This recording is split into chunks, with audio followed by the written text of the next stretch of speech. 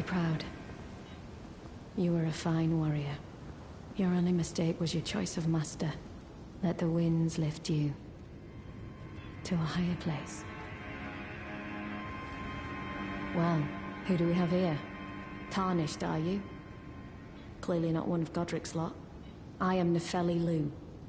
Tarnished and warrior, like you. I'm here by decree of my father. How utterly repellent this is. This grafting of Godrick's ill befits a lord. He's tainted the very winds.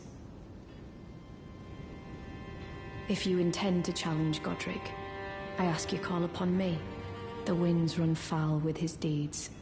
I'm certain father would permit me aid the fight. Apologies, but as fellow Tarnished, we must each follow our own down whatever road takes us to the throne of Elden Lord. Apologies, as fellow down whatever